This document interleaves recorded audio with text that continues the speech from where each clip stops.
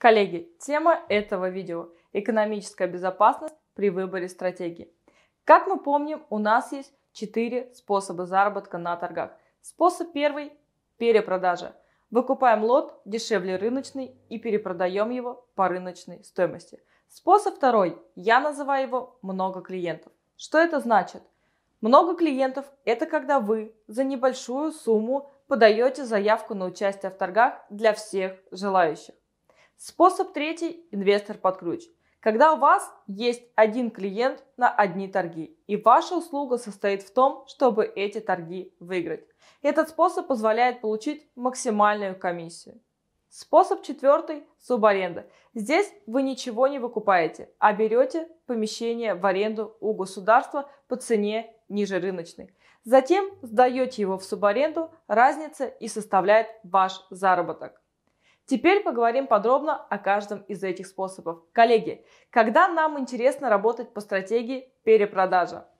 Во-первых, прибыль от перепродажи ощутимо выше, чем агентская комиссия при выкупе данного лота для инвестора. Во-вторых, у вас должны быть собственные средства на выкуп данного лота. В-третьих, вы должны быть абсолютно уверены, что сможете его продать. Здесь важно очень тщательно изучить спрос. Когда лот требует дополнительных вложений, например, ремонта, необходимо оценить вложения до участия в торгах. При необходимости привлекаем специалиста. Пятое. Если планируем перепродажу, добавляем к себестоимости лота стоимость предстоящего ремонта и предпродажной подготовки. Шестое. Юридический статус лота должен быть абсолютно понятен для вас. Сможете ли вы использовать его, как планируете? Коллеги, здесь важно понимать, что при работе по стратегии все юридические и экономические риски вы принимаете на себя. Переходим ко второму способу. Он называется инвестор под ключ.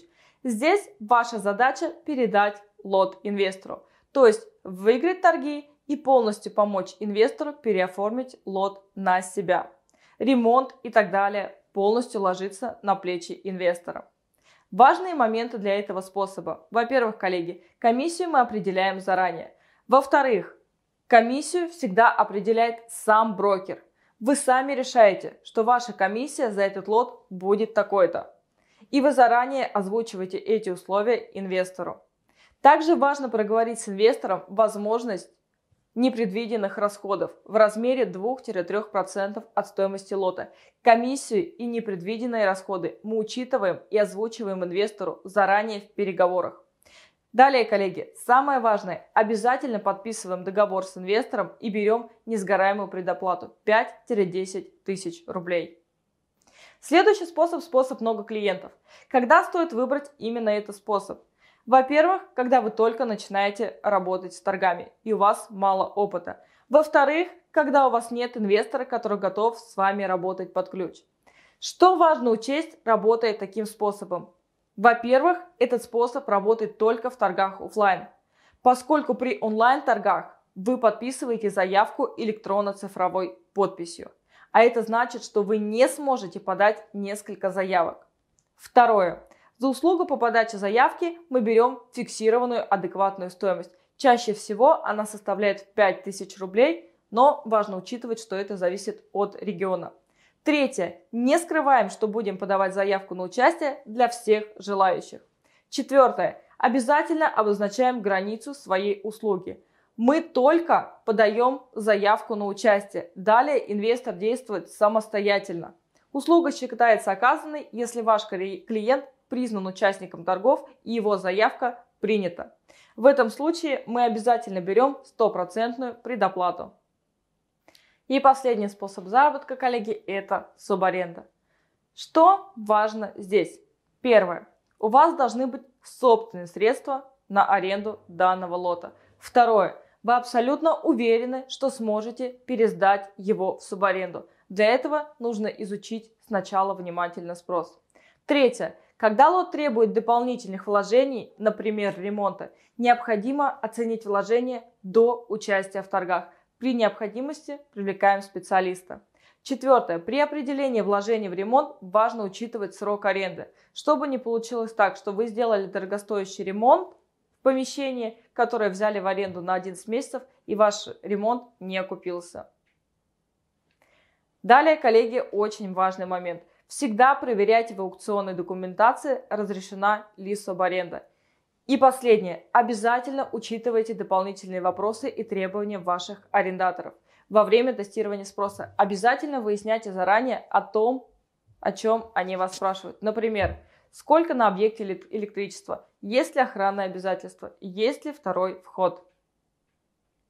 Коллеги, стратегически важно понимать о том, что мы стремимся выкупить лот как можно дешевле. Но будучи реалистами, мы не рассчитываем на то, что цена будет фантастически низкой. Хороший результат. Цена, цена на 25-30% ниже рыночной. Дисконты больше 30% – это уже отличный результат. Если вы выкупаете лот на себя, то вам достаточно взять лот дешевле рынка на 15-20%. Вы быстро реализуете его, если поставите цену на 5% самой низкой цены на рынке. Эта разница и будет составлять вашу прибыль. Если вы выкупаете лот для инвестора под ключ, важно уточнить, для себя он хочет купить или для перепродажи. Если инвестор выкупает для себя, то ему он интересен этот лот на 15-20% дешевле рыночной стоимости, плюс ваша комиссия. Если инвестор выкупает лот для перепродажи, то ему нужен больше дисконт 25% и более, плюс ваша комиссия. Коллеги, теперь поговорим о том, как мы определяем свою комиссию. Если инвестор выкупает лот для себя, то у него и у нас меньше экономических рисков. Соответственно, инвестор больше готов двигаться по цене, следовательно, наши шансы выиграть торги максимальны. Комиссию в этом случае мы берем меньше. Если инвестор выкупает лот для перепродажи, то у него и у нас возникает больший экономический риск не перепродать объект. Ему нужна максимально низкая цена. Чем ниже цена, по которой мы собираемся выкупить этот лот, тем меньше у нас шансов выиграть данные торги. И это уже наш экономический риск. Поэтому комиссию мы берем больше. Коллеги, теперь поговорим о том, какая в принципе, бывает комиссия брокера при работе с инвестором под ключ. За выкуп недвижимости в городах-миллионников средняя комиссия брокера составляет 100 тысяч рублей. В маленьких городах это будет приблизительно 50 тысяч рублей. Несгораемая сумма в этом случае будет около 10 тысяч рублей.